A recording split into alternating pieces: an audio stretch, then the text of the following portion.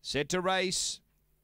They're away. Speed from Per Se is burning up, looking for the front. It's going to get it. So Per Se leads to the back from Yes Sarge, and then came Iceni Escort, uh, Crazy Claire, Iceni Rival, Laser Illusion, uh, and Alan Punter. Up front, Yes Sarge railing through to join Per Se. They straighten together. Per Se and Yes Sarge, nothing between them. Late Iceni Escort, they drive. Yes Sarge. Yes Sarge beats Per Se. Third, we got uh, Iceni Rival, who came late at Iceni Escort there. Uh, then Crazy Claire, and behind those is Laser Illusion.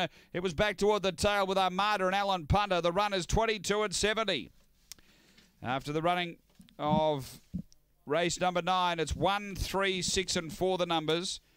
1, 3, 6, and 4. Yes, Sarge, number one. Tony Rasmussen. Uh, for Ann Sinnott, a black bitch, November 2014, Premier Fantasy up and away. Number one. Second to three, which is per se, Roger Harris, a black bitch, February 2016, Cosmic Rumble, Bad Memory. And six, Iceni Escort, Rebecca Macaulay Fryer, Red Fawn Bitch, April 2015, El Grand Senor, Iceni Gypsy. It's one, three, six, four, fourth, race nine here at Angle Park.